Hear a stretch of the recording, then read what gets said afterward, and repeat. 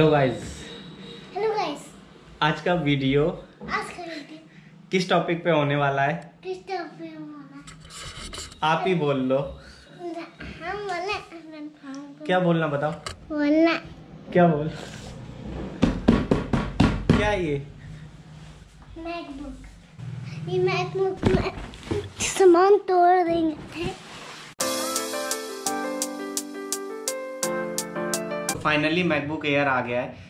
दो दिन पहले मैंने ऑर्डर किया था और कल मुझे रिसीव हो गया है। बट कल मैंने ओपन नहीं किया तो आज आप लोगों के सामने ओपन करता हूँ और दिखाता हूँ मैकबुक एयर इस पर स्विच करने का रीज़न मुझे ये कितने का पड़ा, ये सब चीज़ें मैं आपको वीडियो में आगे बताऊँगा बट मुझे बहुत सस्ता पड़ा। अमेजन पे जो प्राइस था, उससे मुझे नाइन थाउज़ेंड सस्ता पड़ा है। तो कैसे सस्ता पड़ा, वो सब चीज़ें मैं आपको बाद में दिखाता हूँ। सबसे पहले अनबॉक्सिंग करते हैं। अनबॉक्सिंग करने के बाद मैं आपको बताऊँगा कि क्यों आठ नौ साल मैंने विंडोज़ यूज़ करने के बाद मैकबुक एयर पे शिफ्ट किया है स्विच किया है।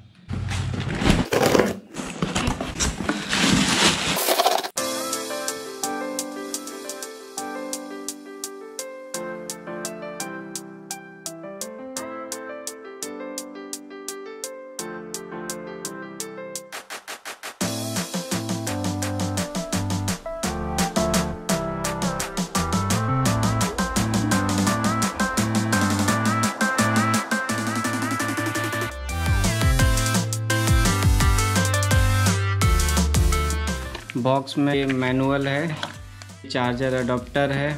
सो इसको ओपन करते हैं। ये है चार्जर और ये इसका अडोप्टर ये इसकी एक्सटेंशन केबल है। अगर इसको आपको एक्सटेंड करके लॉन्ग करना है तो आप इसको कनेक्ट कर सकते हैं और पावर प्लग लगा सकते हैं। अगर नहीं करना है तो आप सिर्फ़ इसको ही कनेक्ट कर सकते हैं। इसको आप इस तरह कनेक्ट कर सकते हैं। सो so, अब टाइम आ गया इसको ओपन करने का।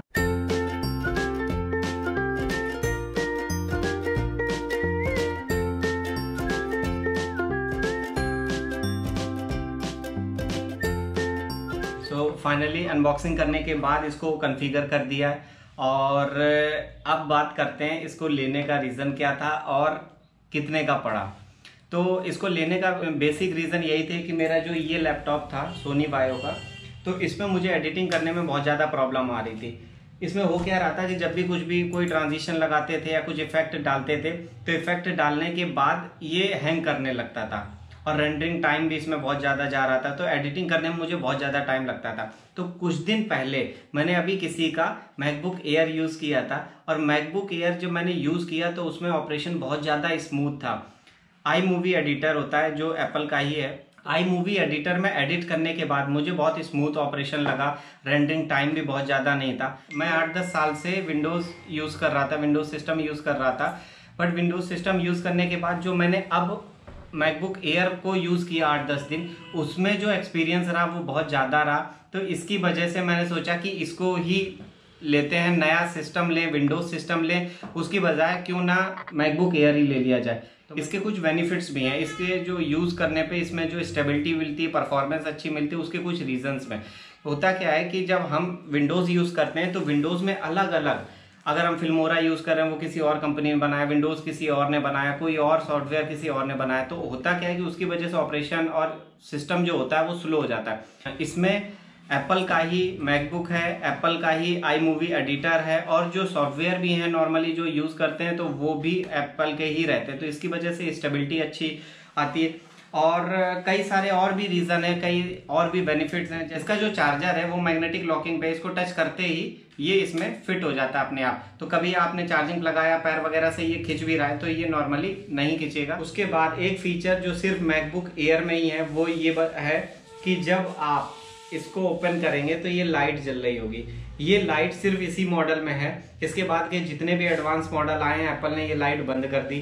तो ये लाइट और किसी में नहीं मिलती है तो अगर इसको फील करना है तो आपको यही लेना पड़ेगा। उसके बाद जो नेक्स्ट फीचर मैं आपसे बताने जा रहा हूँ, वो भी सिर्फ़ इसी में मिलेगा और वो ये है इसके पोर्ट इसमें यूएसबी थंडरबोल्ट एसडी कार्ड हर तरह के पोर्ट है। बट जो नए एडवांस सिस्टम आ रहे हैं एप्पल के मैकबुक प्रो या मैकबुक एयर उनमें किसी में भी ये पोर्ट नहीं है, सिर्फ़ आपको U S B C type मिलेगा और उसके साथ अलग से कनेक्टर लगाने पड़ेंगे। उसके साथ ही आप वो चीज़ें यूज़ कर पाएँगे। इसको लेने का मेन रीजन ये भी था कि मुझे अगर वीडियो बनाने के बाद डाटा कॉपी करना है तो इजिली मैं इसके थ्रू कर सकता हूँ यूएसबी पोर्ट के थ्रू कर सकता हूँ एसडी कार्ड के थ्रू कर सकता हूँ। अलग से मुझे कनेक्टर वगैरह लगाने की ज़रूरत नहीं है। मुझे ब्लॉग की एडिटिंग करनी रहेगी और एडिटिंग करने के लिए जैसा कि मैंने अभी पहले भी बताया कि आई मूवी एडिटर में सफिशियंट फीचर्स रहते हैं कि आप ब्लॉग की एडिटिंग कर सकते हैं। अगर आपको एडवांस एडिटिंग करनी है तो उसके लिए आप फाइनल कट प्रो बाई कर सकते हैं। वो भी एप्पल का है और इस पर बहुत अच्छा स्मूथ चलेगा।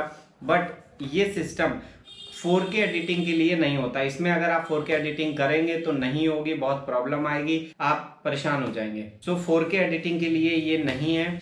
इसका बैटरी बैकअप विंडोज़ सिस्टम से बहुत अच्छा होता है। एक बार आपने 100 परसेंट चार्ज कर दिया तो सात आठ घंटे, नौ घंटे तक आप इसको यूज़ कर सकते हैं। और अगर आपने चार्ज करने के बाद इसको बंद करके रख भी दिया तो आप चाहे एक महीने बाद खोलें तो भी 99 100 परसेंट ही बैटरी मिलेगी। जबकि विंडोज़ सिस्टम में ऐसा नहीं होता। विंडोज़ में बैटरी बहुत जल्दी ड्रेन होती है। सो मैकबुक एयर का बैटरी बैकअप बहुत अच्छा है। उसके बाद उसके बाद इसका जो कीबोर्ड है, वो बैकलेट सिस्टम बेस्ड है।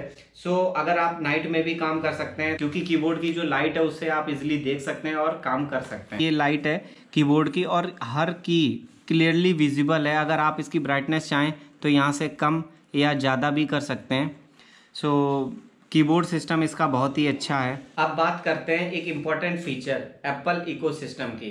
एक्चुअली होता क्या है कि अगर आपके पास आईफोन है और मैकबुक एयर है और आप दोनों ही चीज़ें सेम नेटवर्क से कनेक्टेड हैं तो अगर आप किसी फ्लोर पे या किसी रूम में मैकबुक पे काम कर रहे हैं, आपका फ़ोन आपके पास नहीं है तो भी इस पर जो फ़ोन कॉल आएगी, आप उसको अटेंड कर सकते हैं, बात कर सकते हैं। उसके अलावा कई और भी फीचर्स होते हैं, जैसे अगर आपने आईफोन से कोई फ़ोटो क्लिक की तो वो इमीडिएटली आपको मैकबुक में मिल जाएगी। और अगर कोई मैकबुक में कोई काम कर रहे हैं, उसको आप आईफोन में डाल सकते हैं। तो एप्पल का जो एक इकोसिस्टम बनता है, वो इतना सिक्योर सेफ़ और इजी होता है कि लोग एक बार एप्पल के सिस्टम को यूज़ करने के बाद दूसरे विंडोज़ या एंड्रॉइड सिस्टम की ओर नहीं जाते हैं। अब बात करते हैं प्राइस की, मुझे इतना सस्ता कैसे पड़ा? इसका एक्चुअल प्राइस है एट्टी फोर थाउज़ेंड अगर आप ऑफलाइन स्टोर में जाएँगे एप्पल का आउटलेट पे जाएँगे तो ये आपको पड़ेगा sixty nine to seventy thousand का। ऑनलाइन स्टोर पे ये, इसका जो प्राइस है, वो fifty four thousand nine ninety nine का है। बट ये मुझे fifty four thousand nine ninety nine का नहीं मिला है। ये मुझे मिला है फोर्टी सिक्स थाउज़ेंड का। क्योंकि मुझे नाइन थाउज़ेंड और लेस हो गए थे। इसकी जो मैंने पेमेंट की थी, वो की थी एसबीआई के डेबिट कार्ड से और अमेजन की जो सेल चल रही है, उसमें मुझे टू थाउज़ेंड का डिस्काउंट मिल गया था डेबिट कार्ड से पे करने पे। उसके बाद मेरे पास एक सोनी बायो का ही दूसरा लैपटॉप था 2011 मॉडल मैंने उसको बाय बैक में दिया, वो 7000 में चला गया। तो टोटल मुझे जो बेनिफिट हुआ है, वो 9000 का हुआ है। 9000 के बाद अब मुझे जो इसका एक्चुअल प्राइस पड़ा, वो पड़ा 46000 का। अगर आपको इससे रिलेटेड कोई भी क्वेश्चन है, कुछ भी पूछना है तो आप कमेंट में पूछ सकते हैं। मिलते हैं नेक्स्ट वीडियो में, तब तक के लिए गुड बाय।